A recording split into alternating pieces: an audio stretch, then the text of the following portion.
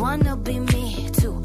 Sup everyone, JK Thunder here and today I'll be showing you how to dye leather armor. So all you need is a cauldron, water, leather armor of course, and dye.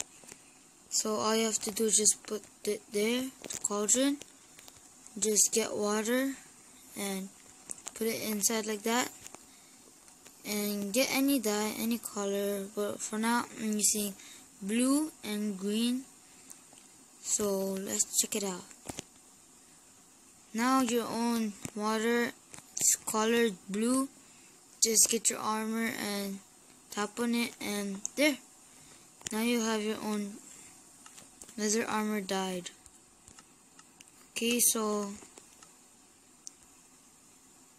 Wait for a second. Okay, so let's try the green one. Just like that, and there. Now you have your own. Wait a second again. Now you have your armor colored with green and blue. You can do it any color.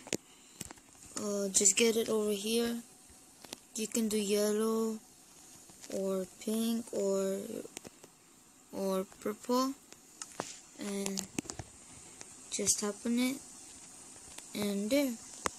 Now you have your own. And I think you can even uh, mix it. Let's try it. So just yeah, you can mix it. So, what if I do this?